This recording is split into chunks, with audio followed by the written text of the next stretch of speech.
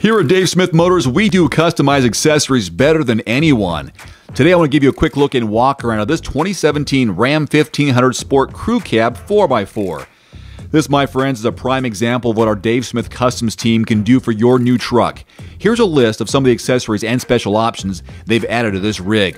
First off, painted to match flares, a PLS body lift, leveling kit, 20 inch black vapor wheels, black tube steps, a Flowmaster muffler, black exhaust tip, smoked out tail lights and a smoked out third brake light, vent visors, and a turboliner, just to name a few.